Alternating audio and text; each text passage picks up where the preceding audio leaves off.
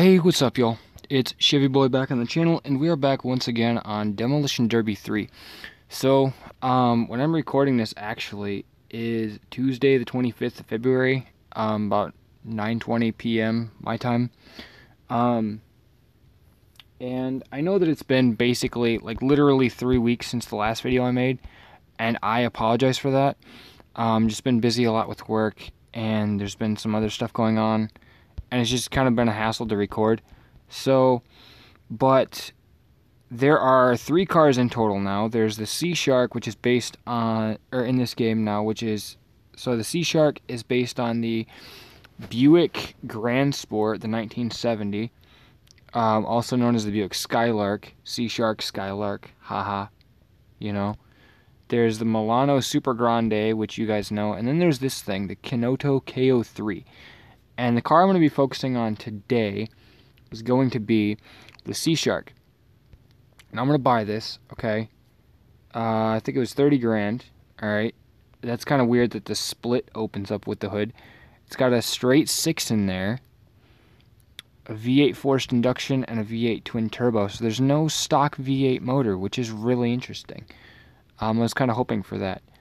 But I'm to be jacking the suspension up. Oh, dude, you can see the freaking supercharger in there. Look at that. Yeah, no, you can see the blower through the actual cowl induction, so that's cool. Well, it's not really cowl induction, but through the actual uh, hood hood vents and everything. That's cool. Um, but no, the paint scheme we're going to be going with is going to be the traditional Buick Grand Sport yellow and black.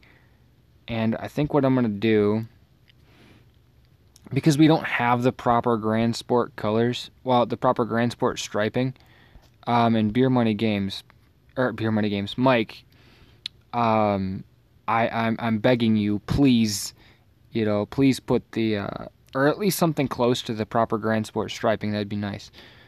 I mean, you don't have to, but, um, so what I'm going to be doing is I'm going to be going with this, I think, because I go with, like, the motor and stuff a lot. Um, so I'm going to be going with this. And the track we're going to be going with today is going to be the, uh, well, it's going to be my track, over under CB. And we're going to do nine or four opponents, full track, and we're going to get going. So, yeah. um, I don't care about iFunny. No, and actually, in case you guys didn't know in this game, Um, there's actually a way to. Oh boy, somebody died.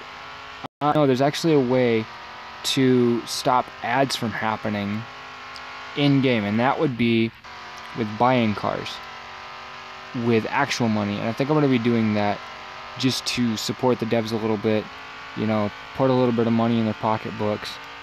And yeah. Um, so this car is actually really nice. Um, if you guys don't know, the Buick Skylark, which I believe is the base model that this car is based on. Uh, this is the very base model of the car. Like the Chevelle is based on the Malibu, which is a GM A-body platform, which includes not only this car, but also the Pontiac GTO and the Oldsmobile Cutlass 442, um, in case you guys didn't know that. This thing is a huge car, by the way. Um, but yeah, no, and, and this car is actually something that I've been wanting. Or, well, I mean, like, because we were teased with an A-body car being this car. And I really wanted this car to come into the game because it was, uh, ooh, Lord. It, it was um, up against, I believe, the, um, oh shoot, I don't even remember what it was up against now. Uh, I can't remember what car um, was competing for this in the polls. If I remember right, um,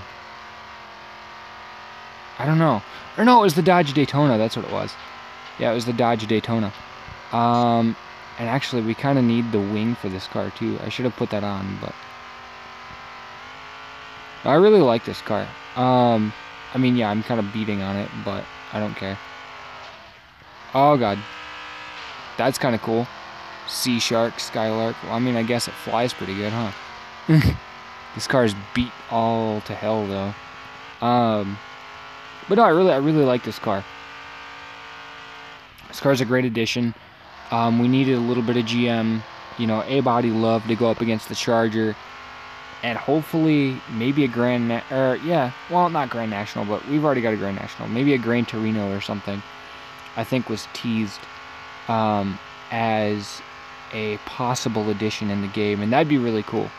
So you'd have, you know, a big, full-size Ford, a mid-size Chevy, well, a mid-size Chevy, a mid-size Buick in this car, and then going up against the mid-size Mopar, and that'd be a cool way to go and do like an old school, you know, stock car race kind of thing. Ooh boy, I like how the camera like just, I don't know, probably breaking this car into a million pieces right now.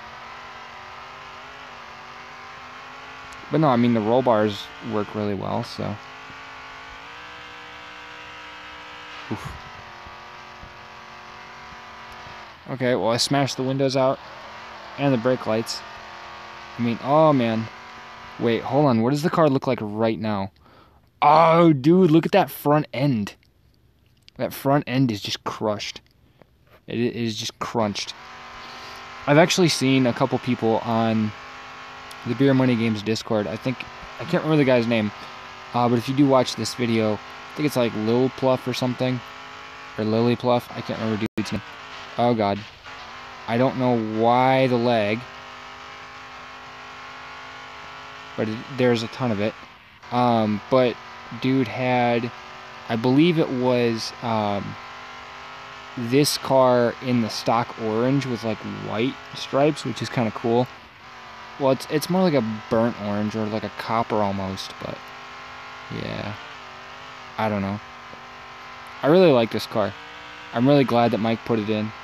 Um, there was some glitches um, that were fixed. I can't remember what they were, but there were glitches that were fixed. Mike said that he's working on a new map again, he's working on a new environment.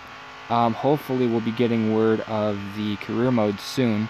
He said that it's being worked on. I think he has to talk to, I think it's Marvin. It's either Mad Mike or um, I think that was Logan that just went ahead or above me. It's either Mad Mike or Legolat. I think it's Mad Mike about the coding and stuff for the uh, career mode, but it is coming, you guys. I promise, it's coming. According to Mike, it's coming, so we'll see. Um, he's got a new track in mind, so that'll be fun. Oh, there's just body parts everywhere. that sounded wrong, but it's not supposed to be that way, you know. This big A body just oh my gosh. It's it's a beautiful sight to behold. Honestly, because like I said, I was I was wanting a big A body car. Like because so the Starlight in this game is based on the X platform Chevy Nova. You know, obviously, with the name Starlight Nova, you know, Supernova basically. And this car is basically a bigger version of that, more or less. Like the Nova is just a smaller version of that. I don't know. Um, or the Chevelle, which is shares a platform with this car but this car actually has the 455 Buick Olds Pontiac motor in it traditionally. Um, and this car, the stage one, was actually rated at I believe it's like 360 horse or something. But if I remember right, some publication, I think it was like Road and Track or something, they fudged the numbers or something way back when in a test against the Plymouth uh, Hemi Cuda. Something to do I think one car, this car ran like a 13.6 or something. Can't remember the top speed, and the Cuda ran like a 13.7 or whatever. It was it was weird. I don't know, but yeah, no, this car went up against the Plymouth Barracuda, even though this car is technically a mid-size, as is the Barracuda, but the Barracuda was more Camaro Mustang territory, if anything. Actually, no, the Challenger was Camaro Mustang territory, whereas the Cuda was more of a street fighter with the um, Yeah, it is Logan. Hi, buddy. Um, but this car was more of a street fighter against the Cougar and the well, no, because the Trans Am was more against the Cougar and uh, the Cuda, but this car, I mean, I could see it. Like the Chevelle was main competition was this car, the Pontiac um, GTO, and the Chevelle. So the Charger, the Chevelle, the Satellite also, I believe. But I mean, I guess it could go up against the CUDA. I don't know. In my opinion, it should, you know, just stay in its market segment with the Charger and the. Oh, there's Heidi. Drifting, getting the rear out. Oh my lord. Heidi's in a Sea Shark. The only other cars are Alex and Zoe in police cars and Sam and a Vader. How in the world does a Buick Grand National even come close to this thing? I don't know. You tell me because I have no freaking clue. Um, no clue whatsoever, you guys. So that was my track in this car, and I told you I wanted to do it in this car. So uh, I think what we're gonna do is we're gonna go to the concrete jungle, and we're gonna go find some cops to play with. So I mean, at least I want to find cops to play with. I don't know about you, but I want to find cops to play with. But this car, oh, that rear end, like I don't know what it is, but though that like boat tail kind of rear end just looks amazing to me. I don't know, maybe I'm weird, but I really really like it, and I'm like I said, I'm really glad that Mike put it in the game. Oh, cleared it, cleared it, boom. I probably just disintegrated front end. Oh, no, it, I mean, no, actually, and um, if you guys didn't know, the uh, Monte Carlo is based on the the the uh, 70, I believe, all the way up to the 77 or so. Actually, even maybe even the early 80s Monte Carlos. Well, no, I think it's like 77 or something. They switched over to the GM uh, G body platform, but prior to that, they were actually all um, A body based. And I don't know, I, I really like the A body uh, Monte Carlos. They're they're they were more, I guess, segmented as being like luxury muscle cars, which fits considering the fact that that thing got a 454 big block in it from the factory. So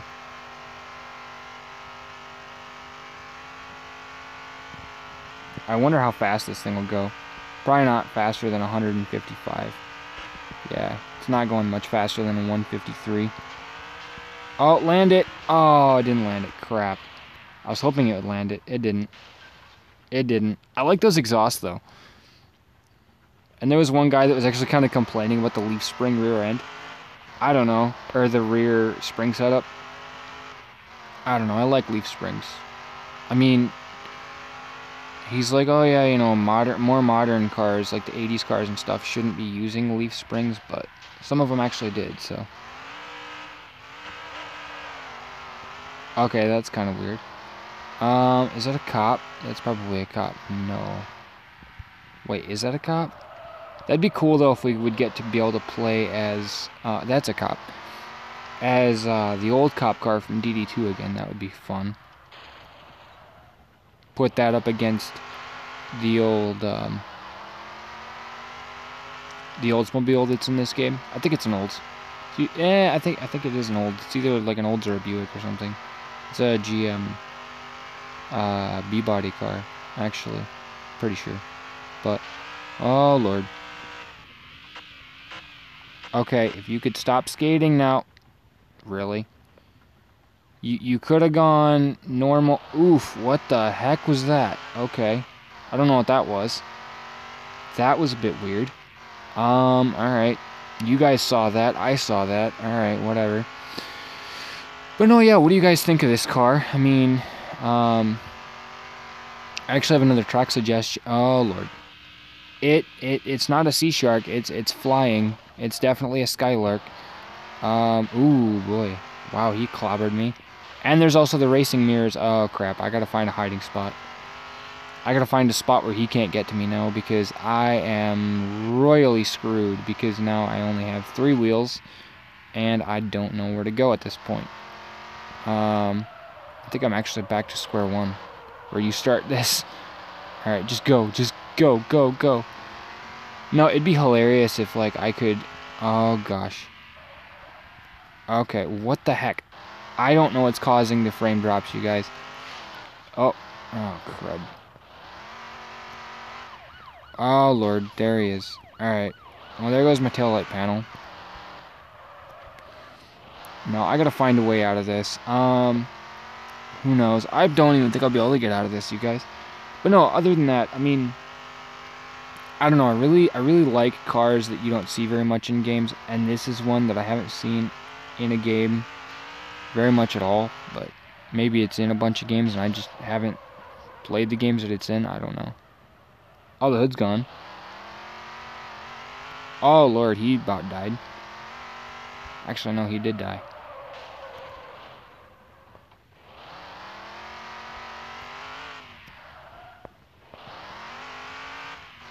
Alright, let's see if we can escape these, huh? Let's see if we can escape these cops.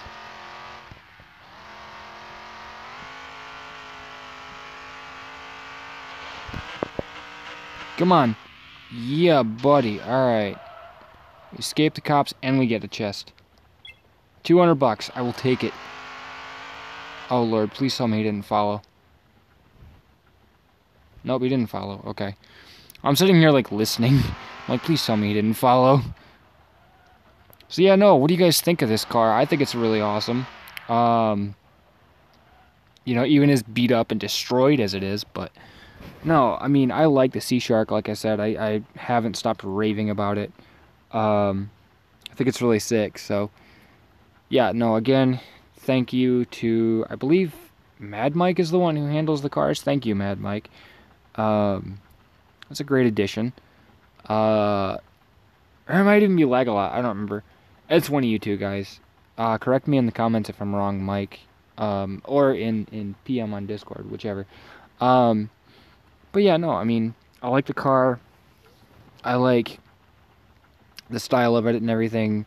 You know, like I said, we needed some GM love because we've got a lot of uh, very, very common cars in games. You know, like the Charger, like the Camaro. I mean, you don't really see the second gen Camaro much, even the later ones. Um, but I mean, no, I love this car. You don't even see that very much. The first gen Civic, you really don't see. The Daytona, you don't really see. The Corvette, you know.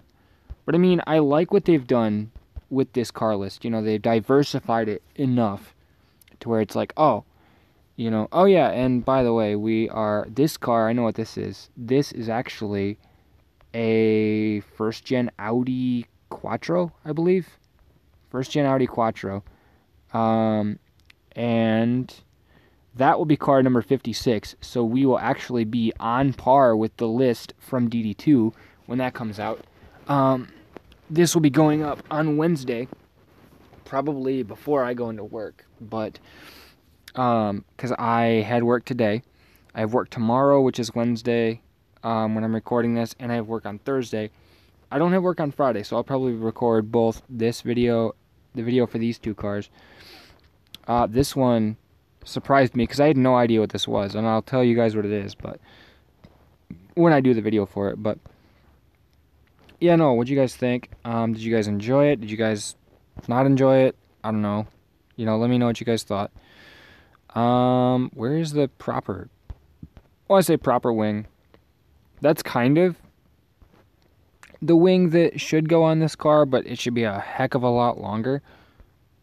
Well, I say longer. It should be a heck of a lot wider, but there's really not a wing that that is wide enough for this car, which is a bit disappointing, Mike um, Kid or Mad Mike, you know, I don't know, whoever does the wings for this, can you give us a wider wing for this car? You know, one that actually covers like the haunches and everything. Because I mean, not even that one works. So, um, I love the racing mirrors too. Like these actually came stock on the car, if I remember right. Um, you know, you can you can see the leaf spring rear end, uh, the off-road style tires I kept, the stock wheels I kept, obviously. Um, but yeah, no, like I said, I really like this car. it's really fun to throw around. Um, it's pretty big and weighty. Actually, it reminds me a lot of the Charger. You know, but then again, like I said, that's also the same class as that it's in.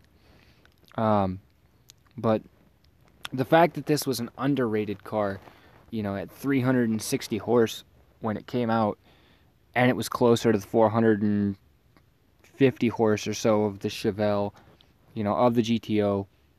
Well, I don't know what the GTO was rated at. I think it was like 430 or something.